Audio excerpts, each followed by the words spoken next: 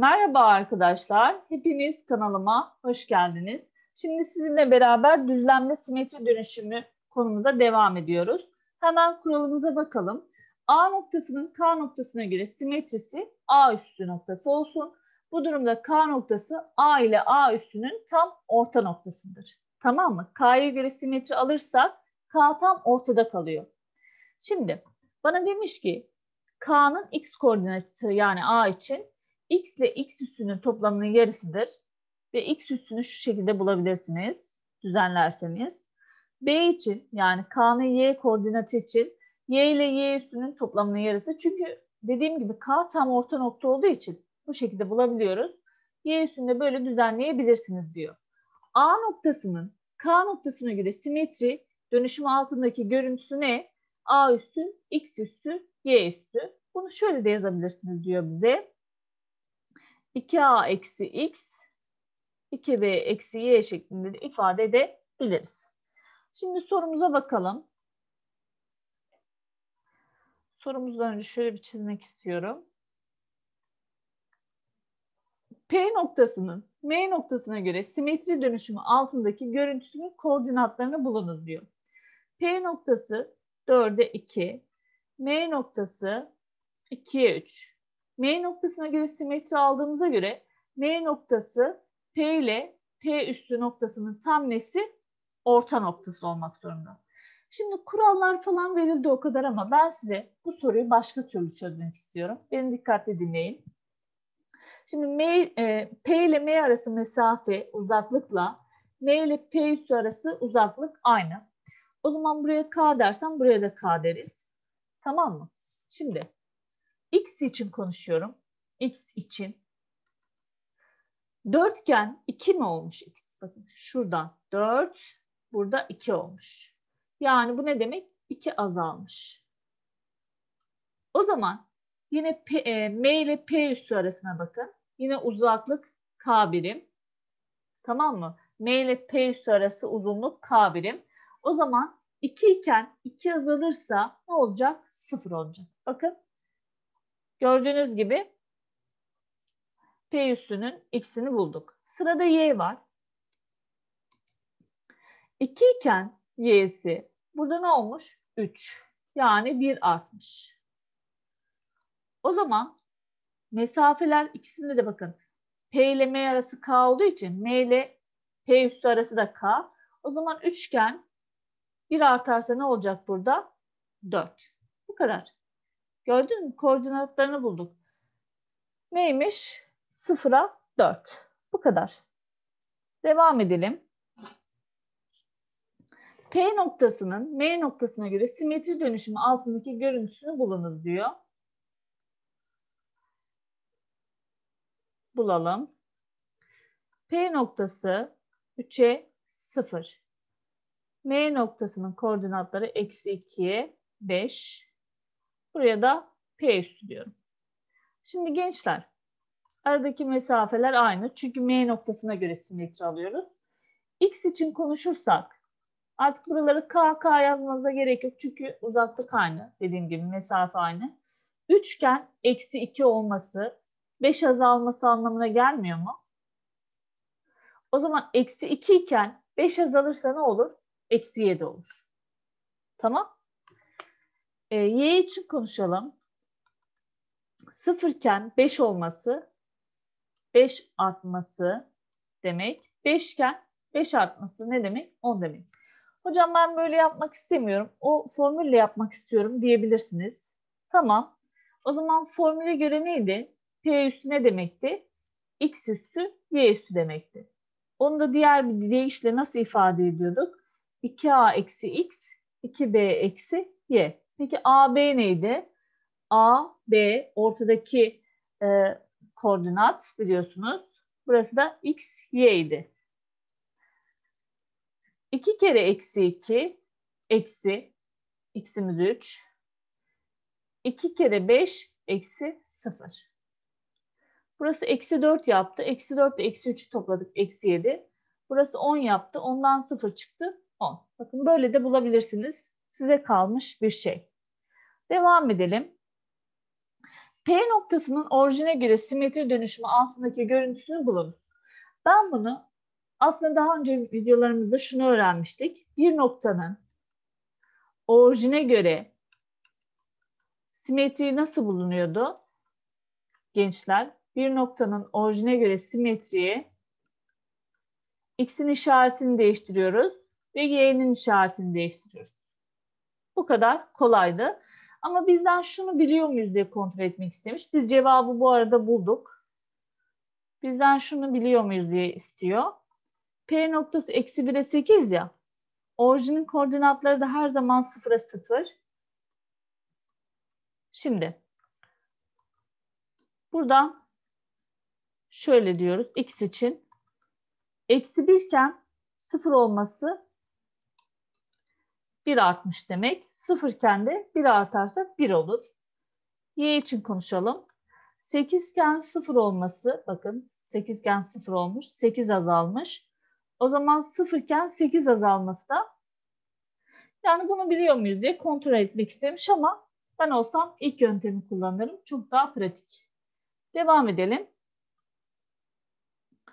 P noktasının M noktasına göre simetri dönüşümü altındaki görüntüsü verilmiş. P üssü. M'yi bulun diyor. Hiç stres olmamıza gerek yok. Evet P noktası M tam ortada. M noktasına göre simetri, simetri alıyoruz çünkü. Şimdi ben bunu size formülü çözeceğim. M'nin koordinatlarını A, B diyeceğim. Çünkü M orta nokta olduğu için X için konuşuyorum. A'yı nasıl buluyoruz? M'nin orta nokta, M orta nokta ve M'nin X koordinatındaki A'yı nasıl buluruz? X'lerin toplamının nesi? Yarısı. Yani 4 bölü 2'den 2 demek. Peki B'ye bakalım. B biliyorsunuz M'nin Y koordinatı. B'yi nasıl buluruz? 6 ile 2'yi toplayıp yarısını alarak 8 bölü 2'den B'de ne demek? 4 demek. Demek ki bizim M noktamızın koordinatları 2'ye 4'müş. Devam edelim. P noktasının M noktasına göre simetri dönüşüm altındaki görüntüsü verilmiş. Bize A artı B diyor. Buluruz. Stres olmaya gerek yok. Kolay bir soru tipi gördüğünüz gibi.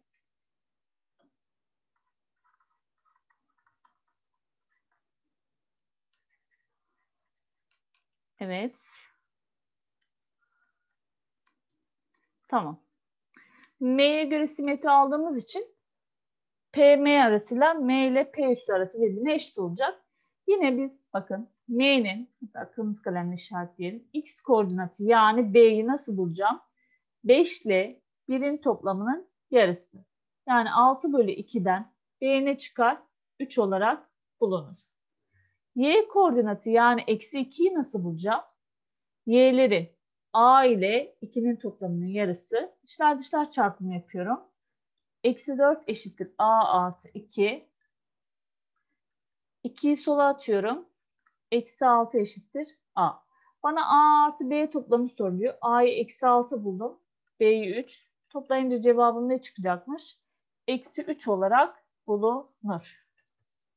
Tamam. Devam edelim.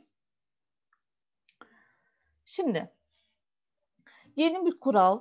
Stres olmaya gerek yok. Bakın kurallar basit aslında. Çok zor değil. Dönüşümde, simetride. Şimdi A noktasının A noktasını görüyoruz. X1, Y1 burada. X eşittir A doğrusuna göre simetri dönüşümü altındaki görüntüsü B nasıl bulunuyormuş? 2A eksi X1, Y1. Yani bu şu demek. A noktasının Y'sine hiç dokunmadık. Tamam mı? X eşittir A doğrusuna göre simetri alırken ne yaptık? X'te oynama yaptık. Buna dikkat edin tamam? Evet. Şimdi sorumuza bakalım hemen beraber gençler. A noktasının x eşittir 3 doğrusuna göre simetri dönüşümü altındaki görüntüsü K noktası olduğuna göre evet K noktasının koordinatları toplamı kaçtır diyor. Evet yapalım hemen beraber. Şöyle diyelim. Burada A noktası var. Şurada olsun biraz kötü oldu. Şurayı silelim. Tamam. Şurada A noktası var. Koordinatları ne? Eksi 5'e 7. Burada da şurada tam şöyle geçiyor. Ne geçiyor? X eşittir 3 doğrusu geçiyor. Ben şu an hani sadece koordinat düzlemi isteyen böyle çizebilir. E, şuradaki gibi ama ben böyle göstermek daha basit geleceği için böyle göstermeyi tercih ediyorum. Simetrisi neymiş gençler? K noktası. K noktasının koordinatlarını soruyor bana. Biz ne yapıyorduk? Y'sini hiç ne yapmayacağız? Dokunmayacağız. Y'si 7 ise 7 olarak ne yapmak zorunda? Kalmak zorunda. Peki diğer türlü nasıl yapacağız x için? 2 kere a diyor. Yani 2 kere 3. Bakın burada zaten formülü yazıyor. Eksi buradaki x ne? Eksi 5. Yani düzenlersek burası ne olacak? 6 artı 5'ten x'i ne olarak çıkacak? Simetrinin 11'e 7 olarak cevabımızı bulacağız. K noktasının koordinatları toplamı soruluyor bize. K noktasının koordinatları toplamında gençler buradan karşınıza 11 artı 7'den 18 olarak çıkacak. Tamam mı? Formülü unutmuyoruz. Aslında bunu şöyle yapabilirsiniz. Hocam ben bu formülü nasıl aklımda tutacağım diyenler olabilir. Bakın bir şey daha göstermek istiyorum. Kafanız çok çok formül var. Ben çok formülle uğraşmak istemiyorum. Kafam karışıyor. Hangi formülü aklımda tutayım diyenler de haklı aslında. Şöyle yapabilirsiniz. Bakın. Eksenleri çiziyorum. Burası x ekseni, burası y ekseni. A noktamız eksi 5'e 7 burası olsun. Bu A noktası olsun. X eşittir 3 doğrumuzu çizelim. Siyah kalemle. X ekseninde 3'ten geçecek. Şuradan geçsin. Tamam mı? Bu çizdiğim şey X eşittir ne doğrumuz? 3 doğrumuz. Şimdi bakın. Burası orijin. Orijine kadar burada 5 birim var. Burada da x eşittir 3 doğrumuza kadar 3 birim var. Simetriğini alınca 8 birim ilerisi olmayacak mı? Yani 8 birim ilerisi ne olur? 11. E, aynı bu aslında x eşittir 3. Baktığınızda y doğrusu gibi yani y ekseni gibi hareket etmiyor mu? Y'sine hiçbir şekilde ne yapamayacağız? Dokunamayacağız. Gördüğünüz gibi K noktasının koordinatları ne çıktı? 11'e 7 olarak bulundu. İsteyen de bu şekilde değerlendirebilir. Devam edelim. A noktasının x eşittir 0 doğrusuna göre simetriyi yani yansıma dönüşümü altındaki görüntüsünü bulunuz diyor bize. Şimdi bakın gençler size bir şey söylemek istiyorum. x eşittir 0 doğrusuna göre simetri demek y eksenine göre simetri demektir. Tamam mı? Tekrar ediyorum. x eşittir 0 doğrusuna göre simetri demek y eksenine göre simetri demektir. O zaman A noktasını aldığımda ben buranın y eksenine göre simetriğini aldığımda ne yapıyorduk? Gençler x'in işaretini değiştiriyorduk. Y'sine ne yapmıyorduk? Dokunmuyorduk. Cevap 1'e 5 olarak bulunur. Bakın tekrar ediyorum. X eşittir 0 doğrusuna göre simetrik demek. Simetrisi demek. Y eksenine göre simetri demek. Y eksenine göre simetriyi alır, simetrisi alınırken de ne yapıyorduk? X'in işareti değişiyordu. Y'ye dokunmuyorduk. Ne kadar kolay oldu. Devam edelim. A noktasının gördüğünüz üzere x eşittir 2 doğrusuna göre simetri dönüşümü altındaki görüntüsünü bulunuz diyor. Ben koordinat çizmeyeceğim. Bu şekilde görmek istiyorum. Şuraya da x eşittir 2 doğrusu yapalım böyle. Yazalım. Şimdi A noktasının koordinatları eksi 2'ye 5. A üssü diyorum. Burada ne yapmayacaktık? Y'sine hiç dokunmayacağız. Yani Y'si hala 5 olmak zorunda. Ama e, X'ini nasıl buluyorduk gençler? X hesabı nasıl yapılıyordu? Şöyle diyelim. Şuraya yazalım. 2A eksi x1 demekti. A buradaki 2 demekti. x1 buradaki eksi 2 demekti. O zaman ne çıkar? 2 kere 2 4 eksi eksi 2 bir tane daha eksi var. Şöyle güzelce yazalım. Eksi eksi 2 yani burası 4 artı 2 yaptı. X koordinatı ne çıktı? 6. Ya şöyle de diyebilirsiniz gençler. Burası tam e, x eşittir 2 doğrusundan geçtiği için şöyle yapabilirsiniz. 2 iken ne oldu? Tabii ki bu buna göre simetri alındığı için bu doğru tam ortada oluyor sonuçta. 2 iken x'i burada pardon ek, e, x'i eksi 2 iken burada 2 oldu. Yani 4 arttı. O zaman burada 4 artarsa 2 iken 4 artınca ne oldu? 6 oldu. Bakın bu şekilde de hesap edebilirsiniz. Y'yi hiçbir şekilde ne yapmadık? Dokunmadık. Devam edelim. Bilelim. Evet yani formülü uygulamak zorunda değilsiniz dediğim gibi. A noktasının x artı 2 eşittir 0 doğrusuna göre simetri dönüşüm altındaki görüntüsü isteniyor. Biz önce şurayı düzenleyelim. 2'yi karşıya atalım. Bu ne demek? x eşittir eksi 2 doğrusu demek. Hemen çizelim.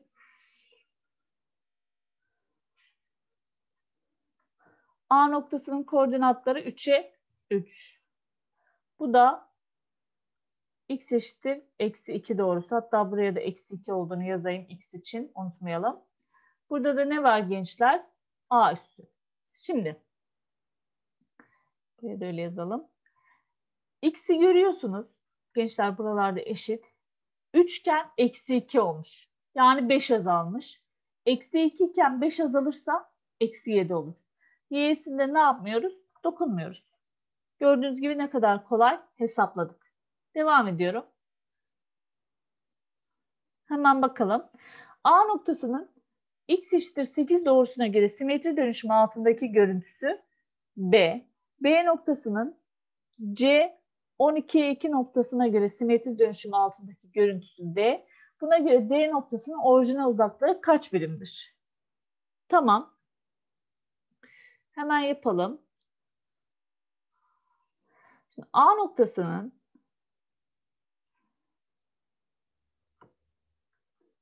burası gençler x eşittir 8 doğrusu. Tamam mı? Şuraya da öyle yazalım. x eşittir 8 doğrusu. Bilerek buraya yazıyorum. Normalde okların ucuna yazılır ama ben sayı doğrusu üstünde dursun diye böyle yazdım. A noktası 4'e eksi 1. Bana ne diyor? A noktasını x eşittir 8 doğrusuna göre simetri dönüşümünün altındaki görüntüsü B diyor. Şimdi x'i 4 iken burada 8 olmuş. Yani 4 artmış. 8 iken 4 artınca ne olur? 12. Y'sine ne yapmıyorduk? Dokunmuyorduk. Bulduk. Tamam. Devam edelim. Gördüğünüz gibi B'nin koordinatlarını hesap ettik. Sonra ne diyor? B noktasının koordinatlarını yazıyorum. B noktasının C noktasına göre simetri dönüşümü altındaki görüntüsü D'ymiş. Şimdi gençler 12, 12 hiç değişmediğine göre hiç artmamış. X'ler için konuşuyorum bakın. 12, 12 hiç değişmediğine göre burası da değişmeyecek. Ya da şöyle diyebilirsiniz 0 artmış, 0 artmış, 12 olmuş. Y'ler için konuşalım. Eksi 1 iken 2 olması 3 artması demek değil mi? O zaman 2 iken 3 artarsa ne olur? Gördüğünüz gibi 5 olur. D noktasının orijinal uzaklığını sormuş bana. Şimdi şöyle yapacağım. D noktasının koordinatları ne? 12'ye 5. Orijinin koordinatları ne? 0'a 0. İki nokta arasındaki uzaklıktan OD'yi bulabilirim. X1, Y1, X2, Y2. Formül neydi? Y2 eksi Y1'in karesi artı X2 eksi X1'in karesi.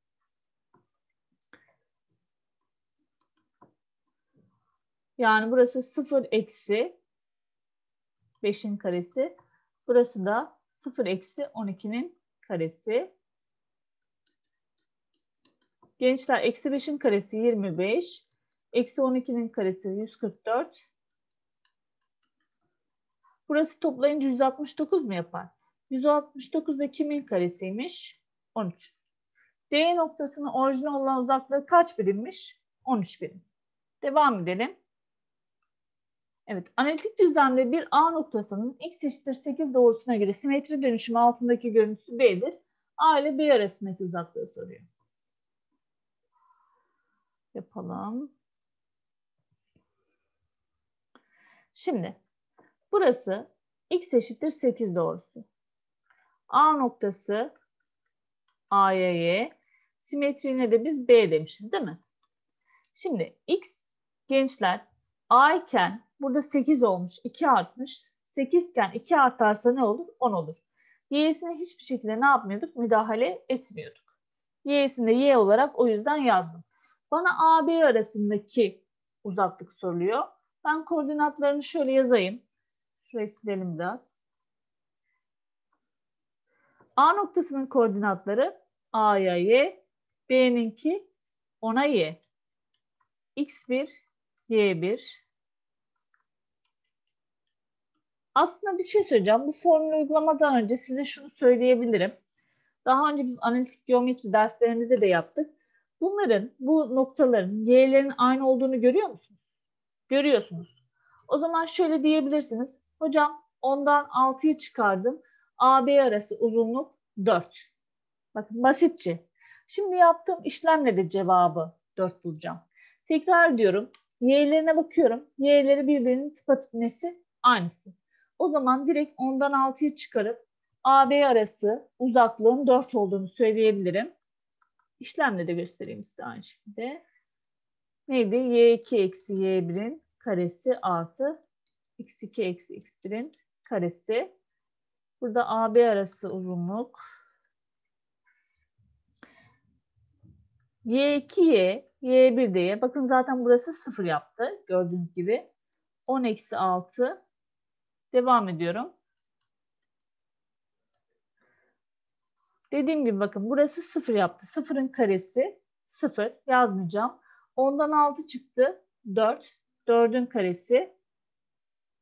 Şöyle düzenleyelim biraz. E, 4'te karekök dışına ne diye çıkacak gençler?